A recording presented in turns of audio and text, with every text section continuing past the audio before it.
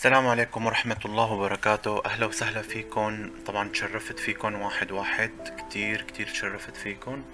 أه مبسوط إنه هذا الكورس كان موجه صراحة لسوريا بالذات. أه طبعا كان في كورسات. قبل هلأ أنا تقريبا قدمت حوالي عشر كورسات للطلاب. أه كان آخرها تقريبا السنة الماضية. وكنا نشتغل على ال V-Ray 3.6 بس طبعا بعد التطور الرهيب اللي صار مع ال V-Ray الجديد لحتى وصل للشكل الحالي اللي نحن فيه فقررت إنه أخلق كورس جديد بإذن رب العالمين وإن شاء الله أتوفق فيه وأقدر أقدم كل المعلومات اللي ممكن آه، يقدمها شخص بهيك نوعية من الكورسات. طبعا نحن آه، رح يكون الكورس عبارة عن أجزاء. رح نجزء الكورس لأربع أقسام. القسم الأول رح نحكي فيه عن الإضاءة وكيف بنتعامل مع الإضاءة آه، سواء النهارية أو الليلية الطبيعية أو الصناعية الداخلية أو الخارجية. ورح نشوف كيف بنتعامل مع الفريم بال باللايت ميكس كيف بنقدر نتعامل مع الإضاءات نزيد شدتها نخفف شدتها عن طريق ال light mix بدون ما نضطر نعيد render المشهد أكثر من مرة. أه رح نشوف كمان كيف بنقدر نتعامل مع ال light lister اللي هي قائمة الإضاءات أه بحيث إنه نزيد شدات ونخفف شدات. طبعا رح نشوف الفرق بين هي وبين ال light mixer أه فيما بعد إن شاء الله. آه، بالمرحلة الثانية ممكن نحكي عن الكاميرا الفيزيائية أو فينا نحكي بالعكس يعني ممكن نقول المرحلة الأولى رح نحكي فيها عن الكاميرا الفيزيائية وكيف نتعامل مع الكاميرا الحقيقية أولا وكيف يكون آه، آه، موازاتها مع الكاميرا الفيزيائية إن شاء الله. آه، ورح نشوف كيف بنتعامل مع ال exposure وال shutter speed ومفاهيم الكاميرا المعروفة وال... مثل فتحة العدسة مثل الزوايا الاحترافية مثل مثل العدسات ال standard الموجودة بالسوق بالإضافة لل ISO وال exposure. ورح نشوف كيف ممكن نحن نستغني عن الكاميرا بشكل عام ونتعامل مع general exposure بحيث إنه نقدر نرندر من ال perspective ومن الكاميرا بنفس المبدأ. بدون ما نضطر إنه ننقل من كاميرا ل perspective تتغير exposure هذا الكلام رح نشوفه إن شاء الله عن قريب بال بالدروس إن شاء الله. المرحلة الثالثة خلينا نقول طبعا المرحلة الثالثة هي مرحلة وهمية. يعني فينا نكون عم نحكي مثلا عن إعدادات ال render اللي هي آه، اجمالا nothing. يعني ما في أي إعدادات على الإطلاق غير إعدادات بسيطة جدا رح نحكي فيها عن قنوات ال render فقط وعن ال denoiser أما بقية الإعدادات صارت جدا مهملة وما إلى أي قيمة على الإطلاق واللعبة كلياتها صراحة رح تكون بال frame buffer فقط. رح نقدر نتعامل مع بال... رح نقدر نتعامل مع الصورة بال frame buffer اللي هو نوعا ما تحول لواجهة فوتوشوب كليا. وبالتالي نحن ما لنا محتاجين على الإطلاق إنه نفوت. لا نعمل إعدادات ولا نغير subdivs ولا نعمل أي شيء على الإطلاق. وخصوصا بعد ما تخلص الصورة ما لنا مضطرين نبعتها على الفوتوشوب إلا لنلزق عليها اللوجو أو كلمتين ممكن نكتبهم باختصار وكل عام وأنتم بخير. المرحلة الأوسع واللي هي تعتبر نصف الكورس تماما. طبعا اللي حكيته بالبداية كله هذا يعتبر نصف الكورس تقريبا. المرحلة الأخيرة أو المرحلة الأهم على الإطلاق هي قسم ال materials. طبعا ال materials نحن رح نتعرف على واجهة ال materials اللي دخلوها جديد بال V-Ray خمسة. رح نشوف كيف رح نشوف كيف بنقدر نستجلب مواد ونحطها بقلب المشاهد وكيف بنتعامل معاها. ورح نشوف كيف رح نستغني عن موضوع مكتبة المواد اللي هن عاملينها. ممكن نستفيد فقط بال textureات الموجودة. textureاتها نوعا ما حلوة وتكرارها جيد فبقدر استفيد من textureاتها. ورغم هيك ما لنا كتير مضطرين على ال textureات الموجودة عندهم. ممكن نحن نشتري textureات من من من عدة مواقع بالإنترنت وممكن ننزل أحيانا من مواقع بتعمل free أو ممكن نحصل عليها بقدر يعني بقدر الله مثلا من شي torrent أو من شي قصة. يعني هذا موضوع كمان آه سابق لأوانه لنحكي فيه. بنحكي ب detailsه الكاملة وقت بنوصل لدرس ال materials. وبعدين بال materials رح نبلش نصنف المواد مشان نقدر نفهمها بين زجاجيات بين معادن بين آه، أقمشة بين بلاستيك حجر رخاميات ceramics وإلى آخره من هي المواد. ورح نشوف كيف نقدر نفرق بين المواد. طبعا رح نحاول كمان نوصل لنقطة كتير مهمة إنه كيف نصنع مكتبة المواد الخاصة فينا؟ وهي أهم نقطة على الإطلاق بال materials. لأنه بس قدرنا نصنع مكتبة المواد الخاصة فينا بصير بصير الموضوع بالنسبة لنا كتير كتير كتير بسيط يعني بالمشهد وبنلاحظ إنه المشهد بيخلص بسرعة. يعني ما لنا مضطرين إنه نقعد طول النهار نخلق materials وننزل ونغير. يكفي إني آه، أعمل materials standard مثلا للخشب وغير ألوان الخشب الموجودة فيها أو غير textureات معينة بحيث إنه يتغير كل شيء دفعة واحدة. طبعا فينا نحن نشتغل بال materials على متصفحين. المتصفح الأول هو ال compact اللي هو المختصر تبع الكرات والمتصفح الثاني اللي هو العنكبوتي أو الأخطبوطي خلينا نقول اللي هو آه، بيعتمد على الأذرع وعلى توصيل التكستشرات والماتيريالات مع مع بعضها عن طريق الأذرع. طبعا هو السائد والمستخدم أكثر بس نحن في عنا رح يكون مشكلة صغيرة شوي. رح نحكي بهذا الموضوع كمان بوقته أكيد بس المشكلة الأهم آه، بالتعامل مع الماكس إنه آه، أي مستخدم لل 3D Max أو لبرامج الجرافيك عامة أو برامج مثلا الصوتيات هو بحاجة لشاشتين. شاشة واحدة ما عادت تكفي. فأنت بحاجة لشاشتين لتقدر تفرد عناصرك عليها. سواء يعني سواء كانت ال tools أو سواء كانت ال renders أو ما بعرف شو. يعني أنت بحاجة لشاشة تشتغل عليها. على واجهة الماكس كرسم ك modeling وبحاجة واجهة تانية تحط فيها عليها كل ال tools. طبعا نحن ما رح نورجي هذا الجانب. رح نشتغل على شاشة واحدة فقط. ورح نشوف كيف بنشتغل على الشاشة واحدة فقط بس طبعا هذا الموضوع شوي رح يكون صعب بالنسبة لنا النقطة الأخيرة اللي رح نحكي فيها بالكورس إن شاء الله هي نقطة الإخراج الأخير للصورة وكيف نتعامل مع فريم بفر.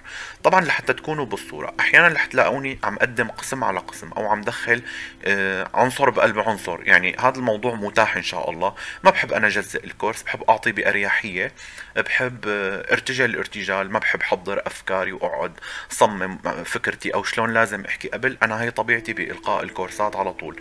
أفكاري كلياتها مرتجلة دائما مشان تطلع عندي مشاكل. وهذا الأسلوب اتبعته بالكورسات كلها وكانت طلابي الحمد لله مرتاحة وجابت نتائج بتطير العقل. لذلك بتلاقوني عم برتجل ارتجال أحيانا ممكن أعمل material وما تزبط معي. فأنا متقصد طبعا هذا الموضوع. أحسن ما أعمل material جاهزة وأخلص وفرجيكم وياها شو طلعت حلوة.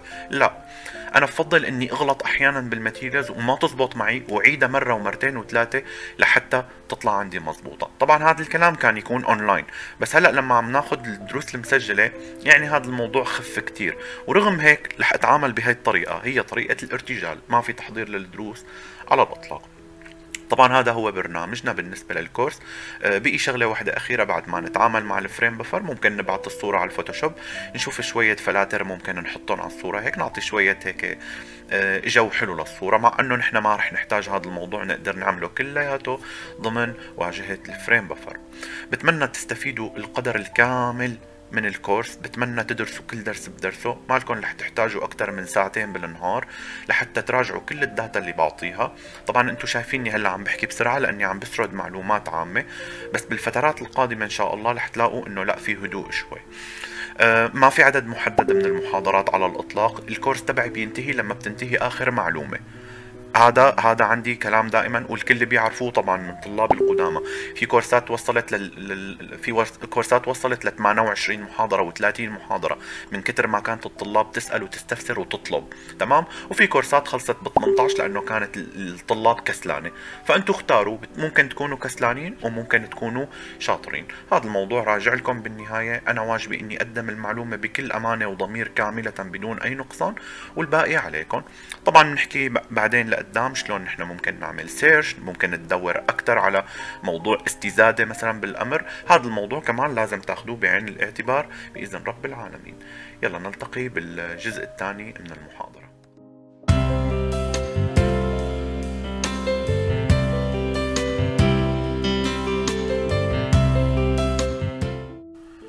أهلا وسهلا فيكم بالقسم الثاني من كورس ال V-Ray. اليوم رح نحكي عن الواجهة الأساسية بالبرنامج بس رح ناخذ نبذة بسيطة عن تاريخ ال plugin طبعا ال plugin آه، ابتدت فكرته بال 1997 لما كانوا آه، فكروا إنهم يعملوا ال plugin تبع ال V-Ray. تمام؟ كان هو عبارة عن plugin كتير بسيط يضاف إلى الماكس و... وي render ب... بطريقة كتير بسيطة. طبعا كان آه، مسبقا كان في عنا plugin يشتغل مع الماكس بشكل مباشر وينزل مع الماكس بشكل مباشر اللي هو ال Mental Ray وقبل منه طبعا قبل ال Mental Ray كان في ال standard. ال standard كان بيعتمد على ال radiosity وعلى أسلوب الإضاءة الشاملة مثل ما بنقول. بعدين آه، إجت شركة V-Ray وقررت إنه تعمل آه، ال plugin تبع ال V-Ray طبعا الشكل الأولي كان كتير بشع. تمام كان كتير بسيط يعني مو بشع بسيط يعني ما كان فيه هال هال data الزايدة وما كان فيه دراسة آه، قوية مثل هلأ طبعا يعني أو بالنسخ اللي بعدين.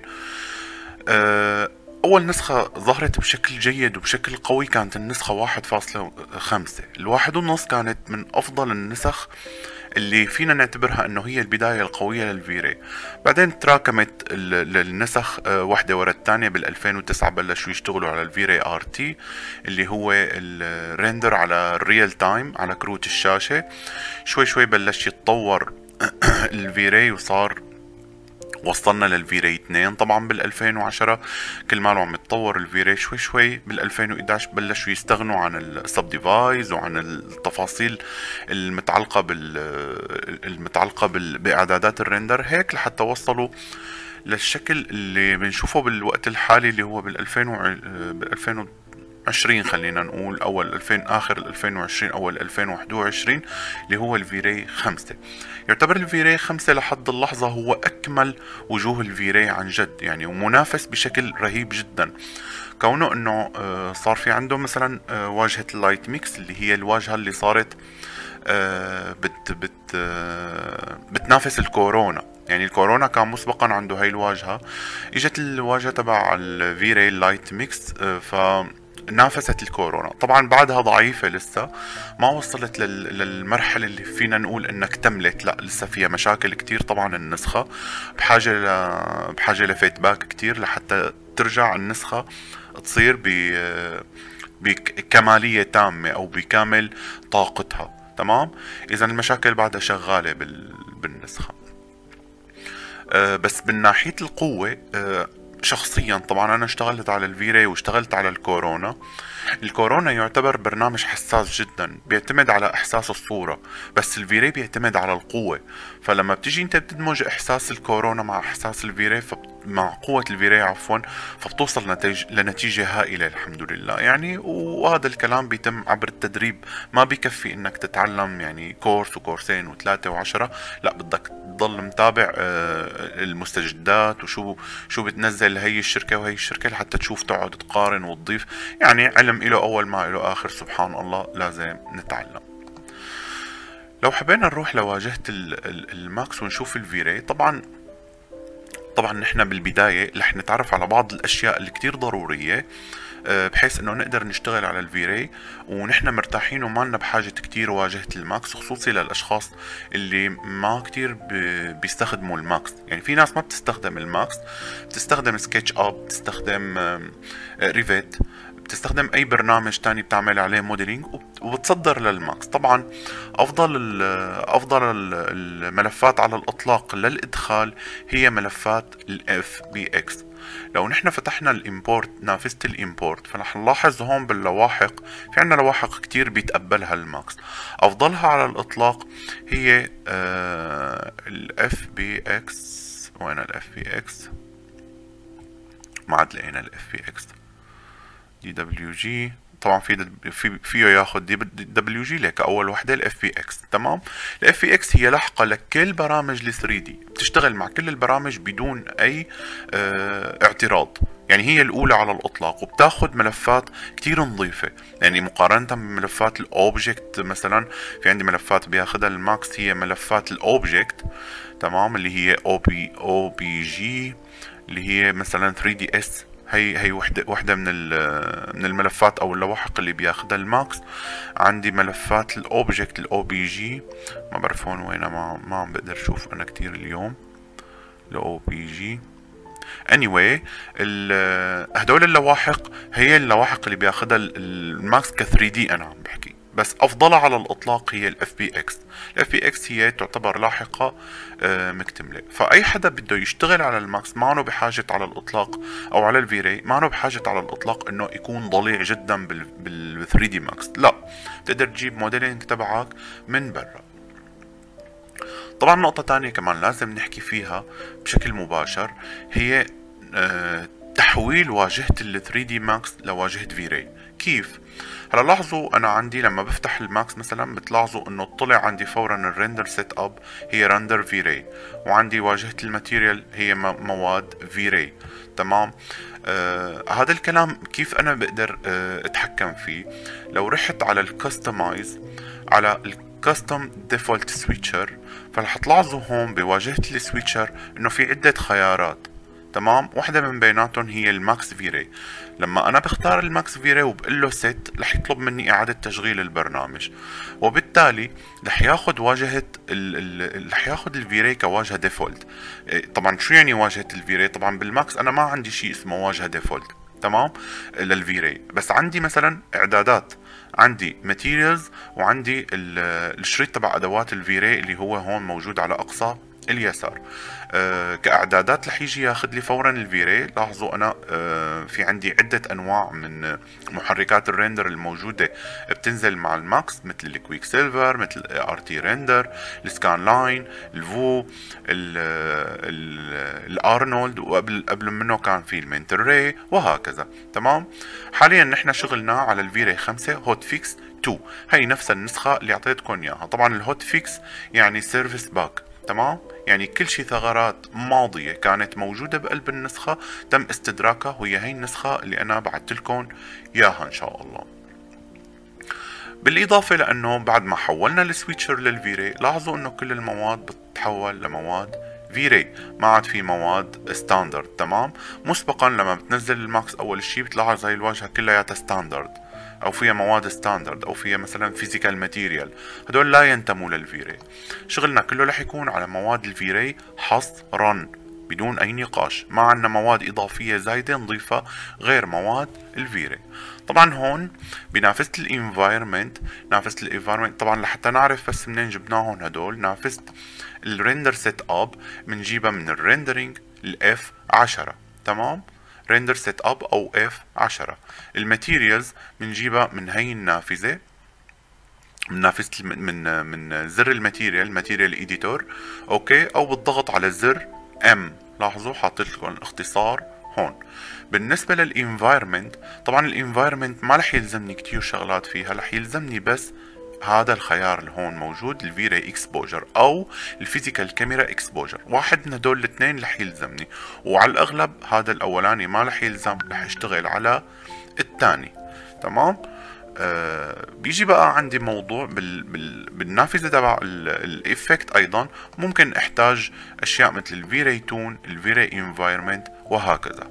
أو ال V-Ray أو لا عفوا ال V-Ray environment أو ال V-Ray toon فقط لا غير. تمام؟ ونافذة عندي نافذة ال frame buffer الحبوبة الأمورة اللي صارت مثل واجهة ال Photoshop. طبعا لاحظوا صار فيها elements هون بتقدر تضيف elements وبتقدر تتعامل مع layers وبتقدر تعمل لهم foldering grouping كذا. يعني هذا كلام جميل جدا عن جد ومتطور جدا. رح نشوفه إن شاء الله بالدروس القادمة. طبعا من ال النسخة على ما أذكر يعني النسخة 3.6 ابتدوا يحطوا شريط هون آه سموه شريط ال V-Ray تمام؟ بشريط ال V-Ray رح تلاحظوا زر ال render ال frame buffer مثلا ال light lister عندي إضافة كاميرا إضافة light light بأنواعه طبعا كلياتها. آه الشمس ال system ال system light مثلا ال IES ال V-Ray IES وهكذا ال proxy. ضافوا هون بال V-Ray الجديد اللي هي ال V-Ray آه ال V-Ray material browser تمام؟ هي المكتبة الجاهزة. لل V-Ray طبعا نحن هاي المكتبة نادرا ما نستخدمها ما رح نستخدم فيها كتير أمور. أه رح نشوفها طبعا ورح نستخدم موادها ونشوف كيف بنستخدمهم مع ال V-Ray بس غالبا ما رح نستخدمها. رح نخلق مكتباتنا بإيدنا. مثلا مثل أنا هون ماني خالق مكتبة بإيدي. okay؟ هي مكتبتي الخاصة. أي أنا عاملها بإيدي كلياتها من أول للآخر. وكل شي بدي فيها مواد بجيبه من هون. ماني محتاج أستخدم من ال material library ولا أي شي. طبعا أنا عم بحكي ك materials ما عم بحكي ك textures.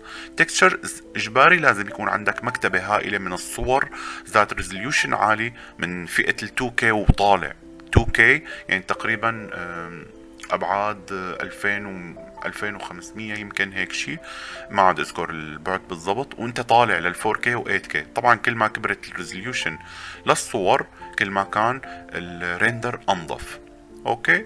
هذا بالنسبة للمواد. بيجي عنا بقى ال frame buffer وهو الشغل الشغال اللي رح نخرج فيه الصور تبعتنا طبعا هلأ الدرس القادم إن شاء الله رح نبتدي الخطوة الأولى وهي عملية تنصيب كاميرا بقلب المشهد. رح أنتقي مشهد.